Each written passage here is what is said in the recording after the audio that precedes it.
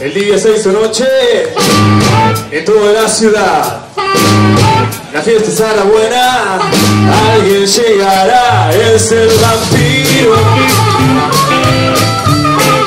Disfrazado